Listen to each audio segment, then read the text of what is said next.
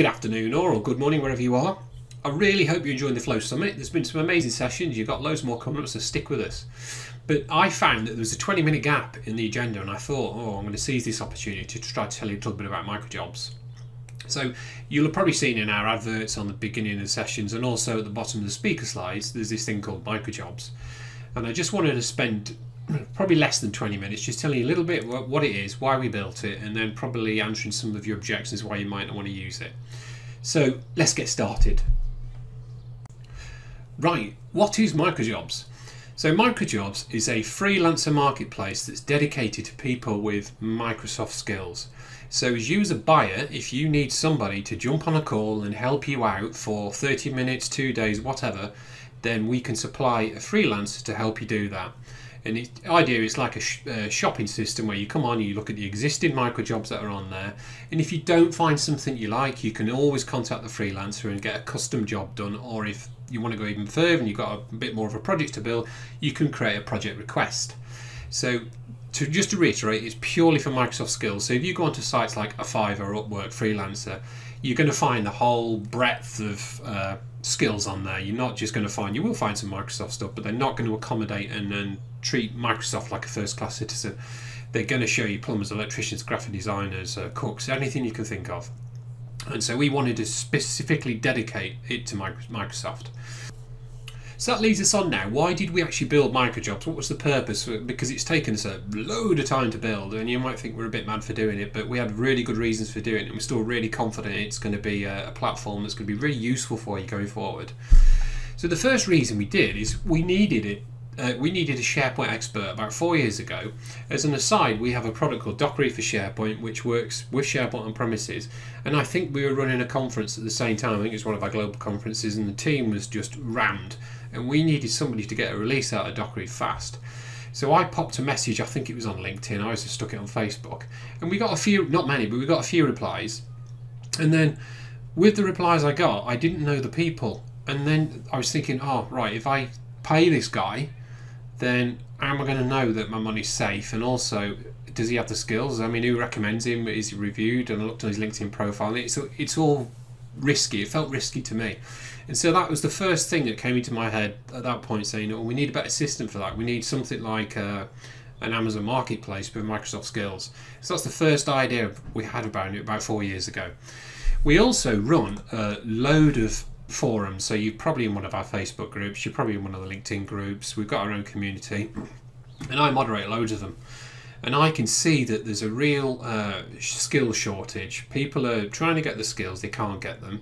And then there's people that are in just in dire straits. They've got a particular Microsoft problem, they've got a debug, a migration's not going well, and they jump on and they're desperate for help. And what I wanted to do is build a system where you don't just take somebody on for six months, you just might need one hour to get an expert on a call say, look, oh, my migration's broken, can you help? And so we built it for that reason as well.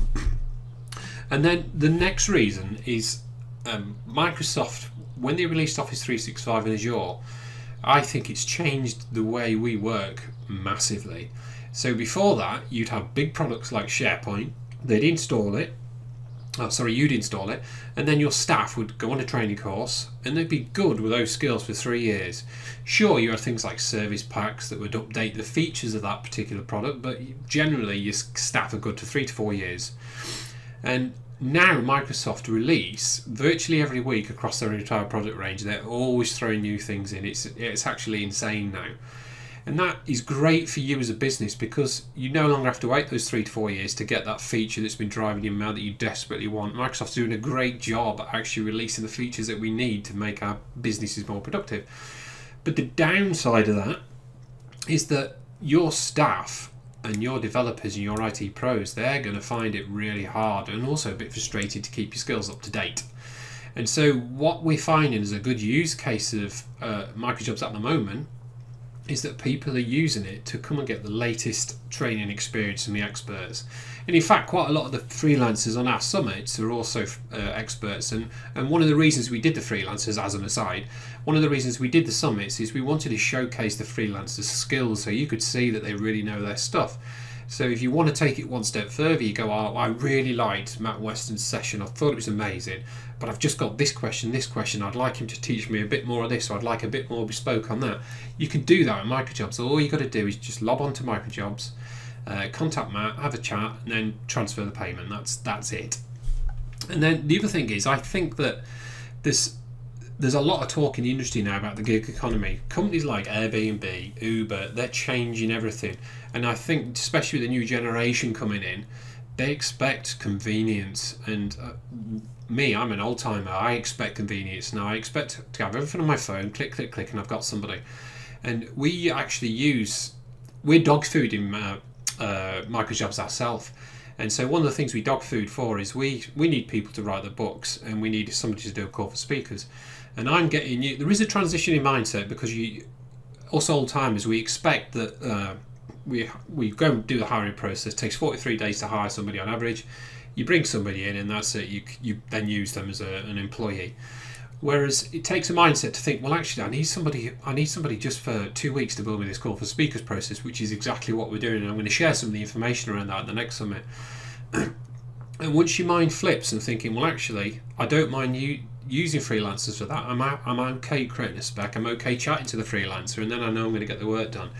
Uh, I think it's all changing the way we work, and I'm that's one of the big reasons I think that something like Microjobs is going to be really, really, uh, really useful going forward. Right, so that's a little bit about Microjobs, what it is and why we built it. And I know probably the next thing that's in your mind is if I think back to myself four years ago when I was looking for a SharePoint developer to help me, you're going to have a few uh, worries that it's not the service for you. So I just wanted to try to go through some of those things and reassure you that uh, Microjobs is actually worthwhile trying. So the first one is you're probably going to worry that when you make the payment, it's not it's not uh, secure. And what we've had to do, we spent ages on this. So we uh, we actually partnered with a payment provider called Stripe. I'm sure you've ever heard of them, and they've got a system there called Stripe Connect, and it's very escrow-like. And what happens is when you make the payment, that payment goes into the freelancer Stripe Connect account. They can't draw on it until you've actually agreed the job's done. But the point is, we don't hold the payment. So if we if we go under as a company, that money's still completely safe. And what will happen is, like I say, when once the freelancer begins the work, you can then say, yeah, that work is amazing. You can rate them, and then the freelancer can draw the money into their own account.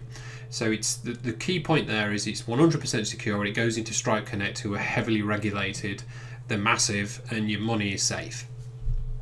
And the other key point is there, you don't pay anything until the work is done and you're 100% happy.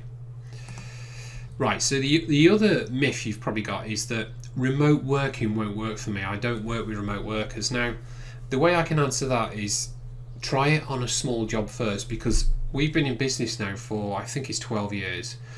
Our entire company is remote. We've had uh, developers working for us in Belarus. My business partner Hugo's down in London.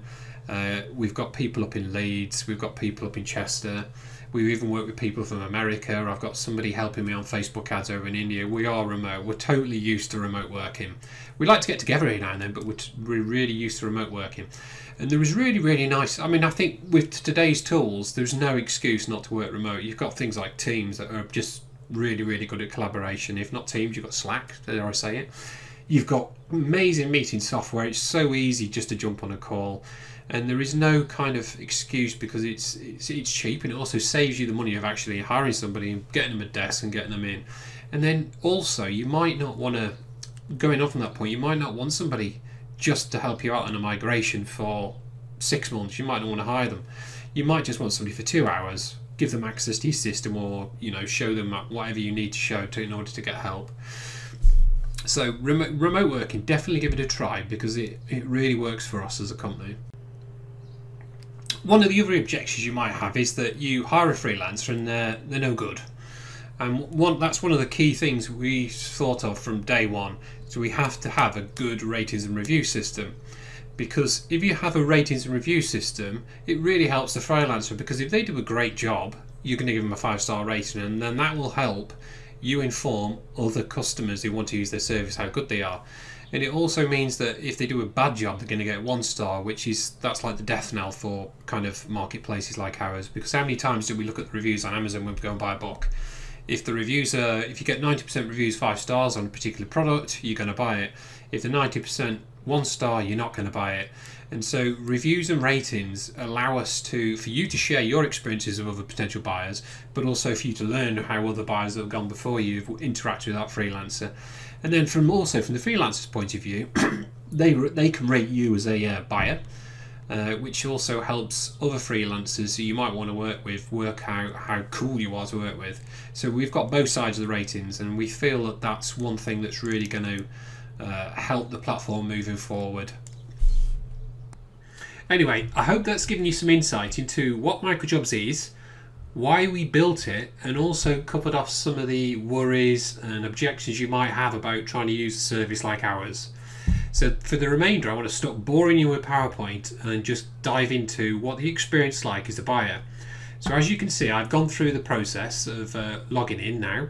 So I'm now on as Mark J4, I'm a buyer, but I'm actually also a freelancer. So there are there is some extra options on here if you're just a buyer that you won't be interested in. If you're interested in freelancing, then definitely take note. So the first experience, let's go to the home page, is you, we showcase some of the micro jobs and they're usually the latest or they're, they're recommended to you. So for example, if I wanted to go into Marcel's job, you can see that it's kind of a templated small job that you might want to buy.